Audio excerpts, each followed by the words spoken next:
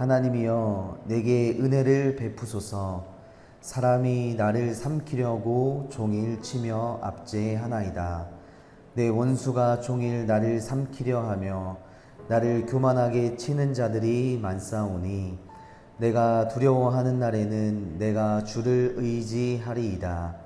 내가 하나님을 의지하고 그 말씀을 찬송하올지라 내가 하나님을 의지하였사온즉 두려워하지 아니하리니 혈육을 가진 사람이 내게 어찌하리이까? 그들이 종일 내 말을 곡해하며 나를 치는 그들의 모든 생각은 사악이라. 그들이 내 생명을 엿보았던 것과 같이 또 모여 숨어 내 발자취를 지켜보나이다. 그들이 악을 행하고야 안전하오리이까? 하나님이여 분노하사 묻 백성을 낮추소서 나의 유리함을 주께서 계수하셨사오니 나의 눈물을 주의 병에 담으소서. 이것이 주의 책에 기록되지 아니하였나이까? 내가 아뢰는 날에 내 원수들이 물러가리니 이것으로 하나님이 내 편이심을 내가 아나이다. 내가 하나님을 의지하여 그의 말씀을 찬송하며 여호와를 의지하여 그의 말씀을 찬송하리이다. 내가 하나님을 의지하였은즉 두려워하지 아니하리니 사람이 내게 어찌하리이까 하나님이여 내가 주께 서원함이 있사온즉 내가 감사제를 주께 드리리니 주께서 내 생명을 사망에서 건지셨음이라 주께서 나로 하나님 앞 생명의 빛에 다니게 하시려고 실족하지 아니하게 하지 아니하셨나이까. 아멘. 네, 오늘도 이 시편 56편의 말씀을 통해서 하나님의 뜻을 깨닫기를 원합니다. 어, 시편 56편 이 말씀은 다윗의 시편인데요. 성경의 다윗의 인생을 보면 아무런 잘못을 하지 않았는데도 사울에게 쫓겨다니기도 하고 또 아들 압살롬에게 어려운 상황을 맞기도 합니다.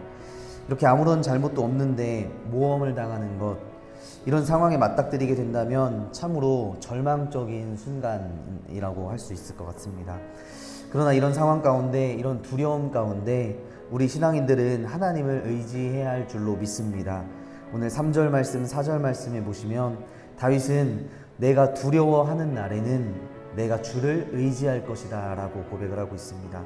또 이어서 내가 하나님을 의지하고 그 말씀을 찬송할 때 하나님을 의지할 때 내가 두려워하지 아니할 것이라고 말씀합니다.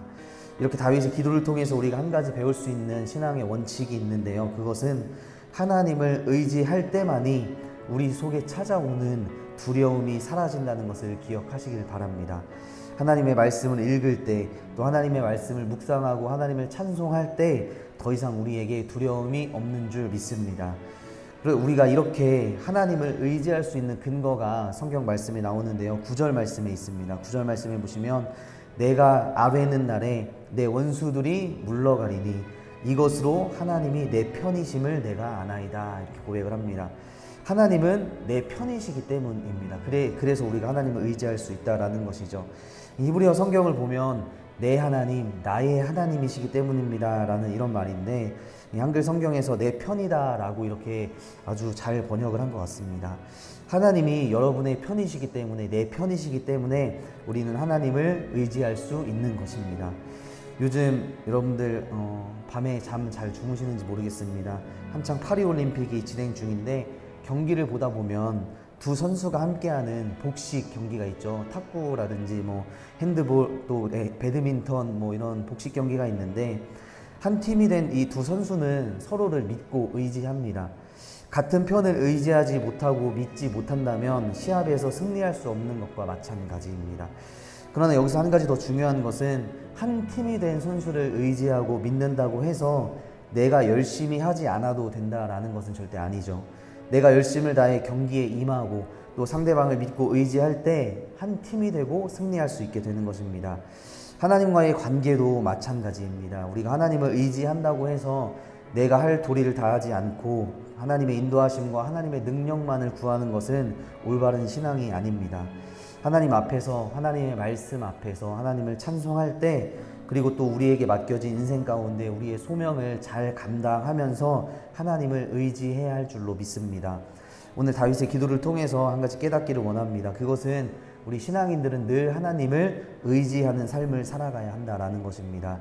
내가 할 도리를 다하지 않으면서 하나님의 도우심을 그 도우심만을 구하면서 살아가는 것이 아니라 나의 할 도리를 다하면서 하나님의 도우심을 구하는 삶을 살아가시기를 주님의 이름으로 소망합니다.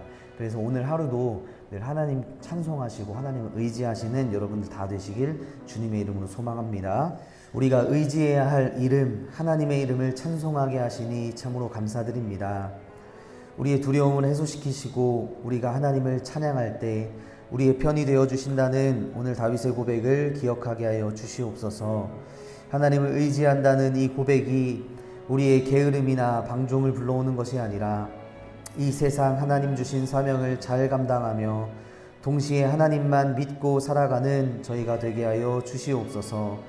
무더운 날씨 가운데 또 많이 비가 오는 가운데 우리 성도님들 건강 지켜주시고 하루하루 삶 속에 찾아오는 불안감이나 두려움이 있다면 하나님 앞 곧 생명의 빛으로 실족하지 않도록 늘 성령님 함께하여 주시옵소서.